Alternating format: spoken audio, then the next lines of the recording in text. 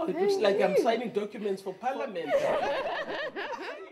you didn't say stop. Mama, thank you so much for supporting the Embrace Dignity campaign against sex trafficking.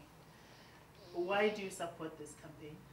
Well, first and foremost, because I know trafficking mainly is the target are women and girl children. Um, and being a mother and also a past teacher, I have a lot of children and a lot of grandchildren, granddaughters.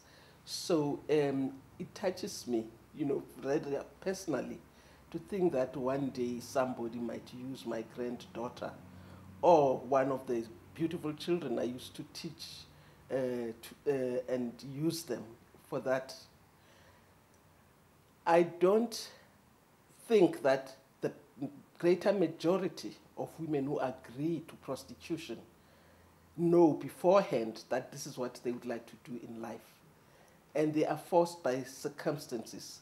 And because we as women are so vulnerable, particularly black women, we are the poorest, we are the least educated, we are the ones that you know have to fend for children when the fathers dump us. So I am particularly concerned for that reason that none of the, these people I have mentioned should be abused. I would say to the visitors and to South Africans on the whole, we as women are vulnerable.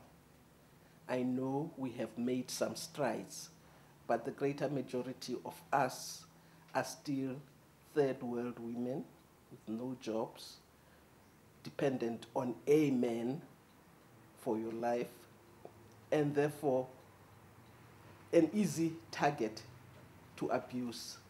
So please look out. Those women out there are your mothers, they are your sisters, they are your daughters. Treat them with respect. It doesn't matter whether they are educated or not educated, whether they are rich or poor, but they are women who bring up the nation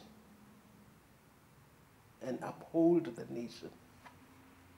I would wish, uh, once I get the chance, to say to the Bafana Bafana, we are all there with you as our sons. We are proud mothers, proud sisters, proud supporters, proud aunts, and I sure proud uncles as well.